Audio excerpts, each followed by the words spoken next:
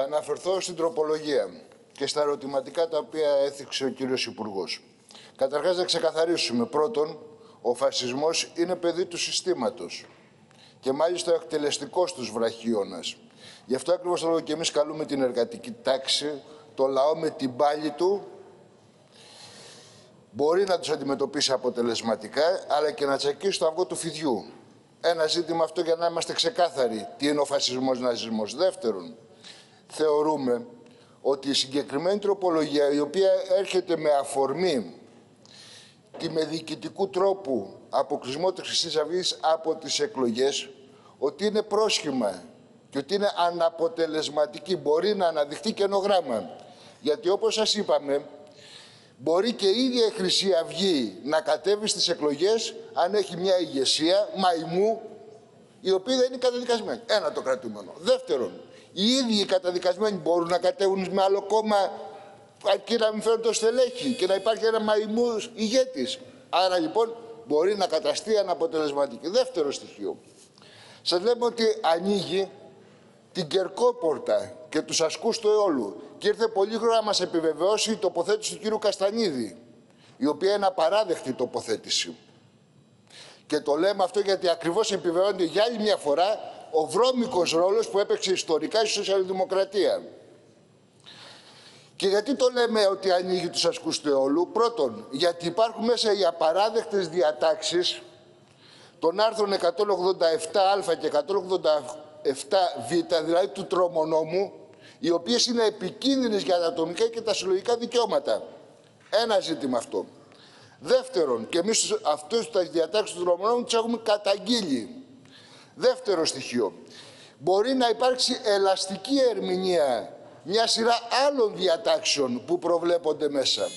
Τρίτον, μας είπατε ότι μόνο για κακουργηματικές πράξεις. Και ποιος μας αποκλεί αύριο αν δεν το γενικεύσετε αυτό και για πλημεληματικές πράξεις; Το αποκλείει κανείς.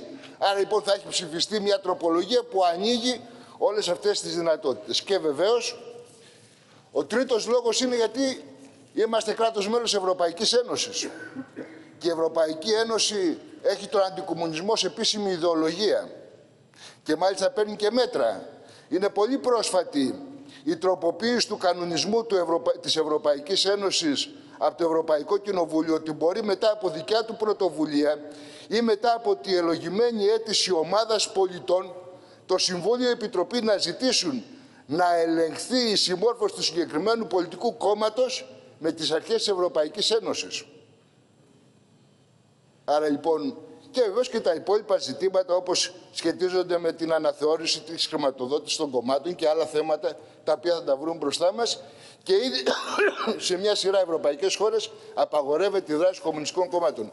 Εμείς τι σας είπαμε, όταν είχε ξεκινήσει η συζήτηση είπαμε επειδή ακριβώς υπάρχει αυτή η αλλαγή στον ποινικό κώδικα την οποία την καταγγείλαμε που έκανε ο ΣΥΡΙΖΑ αυτή τη συγκεκριμένη αλλαγή. Και επειδή, με πρόσχημα, επειδή υπάρχει και το θέμα του συντάγματος, η διάταξη περί αμετάκλητης ποινής, εμείς λέμε να προσπαθήσετε να ξεφύγετε από αυτή τη διαδικασία μέσα από την αναθεώρηση του άρθρου 5 του εκλογικού νόμου, όπου ουσιαστικά εκεί θα μπορούσε να υπήρχε η διάταξη που να λέει τι, να λέει το εξής, ότι στερούνται το δικαίωμα του εκλέγει και του εκλέγεστε σε όλες τις εκλογές όσοι έχουν καταδικαστεί ακόμη και με πρωτόδικη απόφαση για εγκλήματα συγκρότησης ένταξης σε εγκληματική οργάνωση και διεύθυνση εγκληματική οργάνωση του άρθρου 187 του ποινικού κώδικα.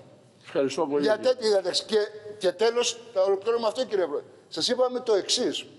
Εφόσον δεν είναι πήγη κάτι σήμερα να αντιμετωπιστεί, γιατί το φέρατε με τη μορφή της τροπολογίας; Αυτό γεννάει πολλά ερωτηματικά. Δεν μας το εξηγήσατε, ενώ θα μπορούσε, ναι, δεν είναι άμεσο επίγον, ενώ θα μπορούσε να έχει με τακτική διαδικασία, να γίνει μια πιο αναλυτική και ολοκληρωμένη συζήτηση. Και εδώ δεν υπάρχει καμία απάντηση. Γι' αυτό σας είπαμε, αποσύρθετε και ελάτε να το ξανασυζητήσουμε. Όμως εσείς επιμένετε σε αυτή τη διαδικασία που γεννά πολλά ερωτηματικά, αμφιβολίες και ανοίγει επικίνδυνες ατραπούς. Γι' αυτό το λόγο και την καταψηφίσουμε.